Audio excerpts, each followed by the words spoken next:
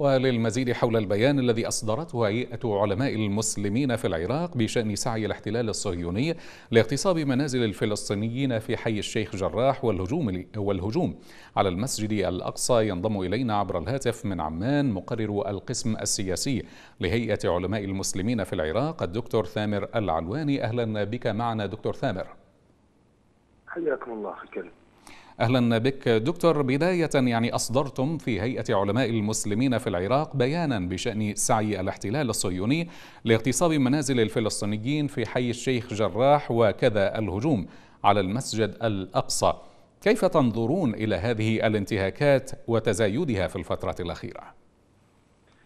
حقيقة ما يجري في حي الشيخ الجراح وجريمة مستنكرة ومدانة يرتكبها ترتكبها قوات الاحتلال الكيان الصهيوني من أجل أن يطردوا الفلسطينيين من أماكنهم من منازلهم من آه، أرضهم من وطنهم آه، ويستفردوهم بطريقة غير شرعية بطريقة المحتل الغاصب لكي يطردوا الفلسطينيين بكل جبروت وتعنت من أرضهم. وهو يعتبر جريمة أو نوع من الجرائم ضد الإنسانية التي يرتكبها آه، آه، ترتكبها قوات الاحتلال بحق الفلسطينيين، فهي جريمة ضد الفلسطينيين وقف الفلسطينيون منددون ضدها ضد الانتهاكات الصارخة بحقهم. نعم، وصفتم ما يحدث في القدس والأقصى بالجريمة المركبة.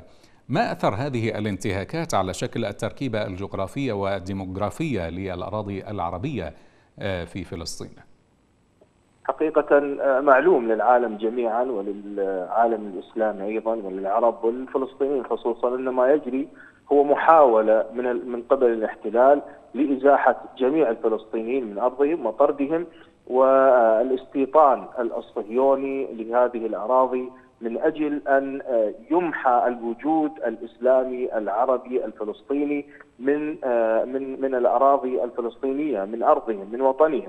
وهذا آه، يسير منذ سنين تجري تمارسه قوات الاحتلال.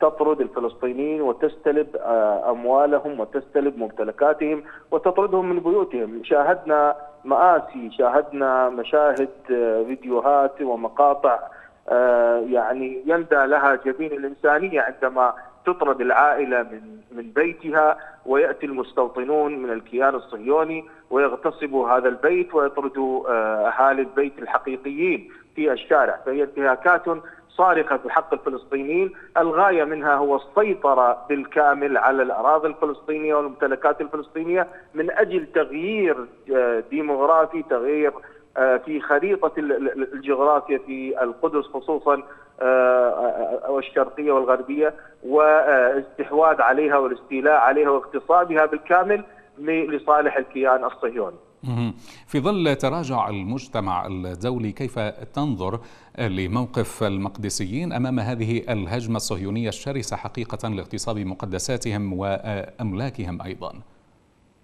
حقيقة الفلسطينيون قد آه، يعني آه، سطروا ملاحم كبيرة ملاحم آه، جعلت قوات الاحتلال المتغطرسة التي تمارس القوة المفرطة في طرد الفلسطينيين من المسجد الأقصى وضربهم بالقنابل الغازية وضربهم بالرصاص واجهوها بصدور عارية واجهوها بهتافات الله أكبر. حتى استطاعوا أن يصدوا هذه الهجمه الشرسة التي يحاول الاحتلال الصهيوني أن يفرغ المسجد الأقصى خصوصا في رمضان كي يفسح المجال للمتطرفين من الكيان الصهيوني أن يدخلوا يوم عشرة آه، من هذا الشهر من أجل أن آه، يجعلوا هذه الدخول المتكرر للمتطرفين الصهاينة امرا طبيعيا آه، يستسيغه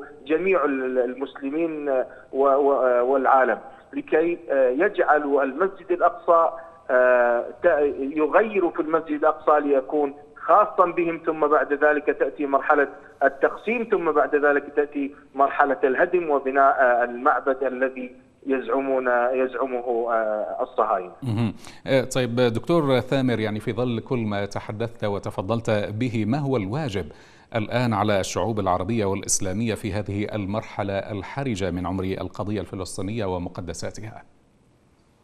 حقيقة الواجب كبير على الأمة الإسلامية وعلى الأمة العربية وعلى جميع حرار العالم لأننا نتكلم عن مقدسات المسلمين عن القدس الذي هو أحد شعائر المسلمين وأحد الأمور المقدسة لدى لدى المسلمين. فلا بد من وقفة حقيقية وقفة حقيقية ضد هذا الكيان الصهيوني الغاصب ضد الاحتلال وابتداء تبتدئ من الأنظمة العربية التي لا بد عليها من أن تتوقف تعاملها وتقاطع الكيان الصهيوني الغاصب وأن أن تقف بجدية مع الشعب الفلسطيني في كفاحه ونضاله ضد الاحتلال الصهيوني الغاشم.